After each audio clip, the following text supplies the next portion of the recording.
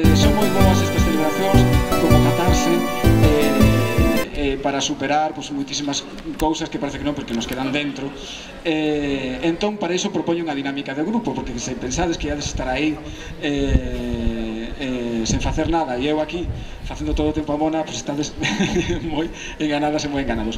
O que vos propoño é unha dinámica de grupo eh, eh, típica de cada persoa eh, vais a ir aquí pronunciar unha frase modelo que vos propoño vai ser eh, que pode ser, eh, no meu caso, eh, hola, eh, son Carlos e son reintegracionista, tens que dicir hola Carlos, non? Hola Carlos. E levo 14 anos escribendo con NH, LH e C cedillado. Moitas gracias. Uh!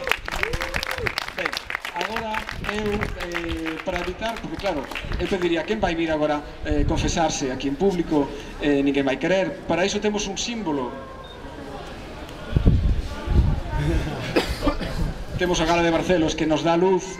Eh, entón, cada persoa eh, que receba agora o símbolo ten que vir aquí e pronunciar esa frase Hola, chámame, tal, todos saudamos, aplaudimos, son reintegracionista, elevo non sei cantos anos, cada un que leve, escribendo con NH, LH e C cedillado.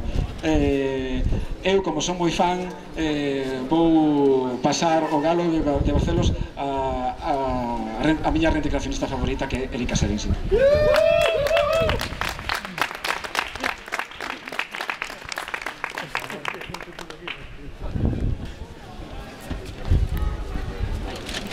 Hola, chamo Erika. Hola, Erika.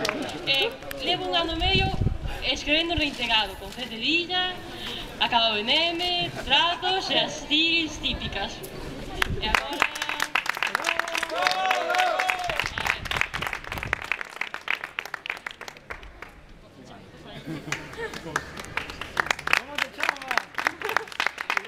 Chamo Fernando. Eh, levo sete anos eh, escribendo reintegrado con cedillado, NH, L, LH, M final, etc. etc.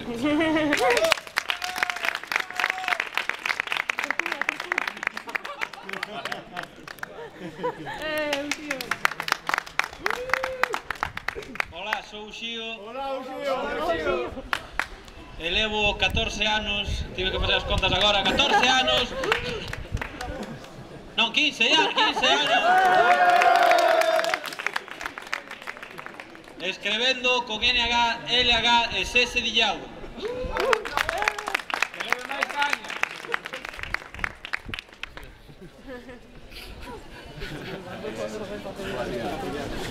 Hola, soy Eduardo. Hola, Eduardo. Hola, Eduardo. Elevo toda la vida. Escribiendo con NH jurado. Hola, Hola. yo soy Aitana. Hola, Aitana. Hola. Elevo 11 años, creo, uh. escribiendo con NH e de Sevilla. Bravo. O tempo, que como galego falante. Bravo. Hola, soy José. Hola, José. Este ano conmemoro o meu 20 aniversario sendo reintegracionista. Bravo. moito orgullo. Eh, xa fixemos eh, terapia eh, eh, se mo permitides obrigado. Eh... bravo, bravo, Carlos que tablas tienes? Se o permitides, declaro inaugurado o roteiro festivo de, desta celebración. Se non hai máis intervencións, nin máis adegas, entón eh, paso aquí a palabra Pero declaro inaugurado o roteiro gastronómico mm, alcohólico. Vémonos aquí este verano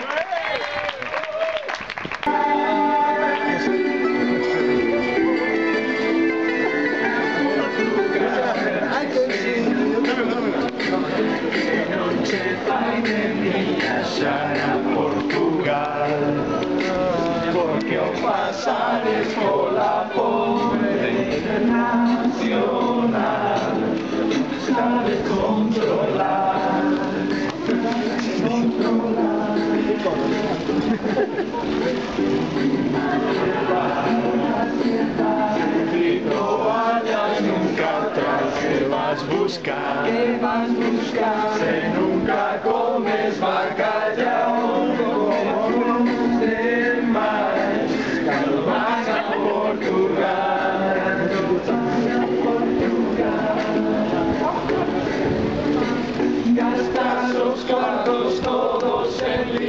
Contos extraños de reis perdidos na historia medieval.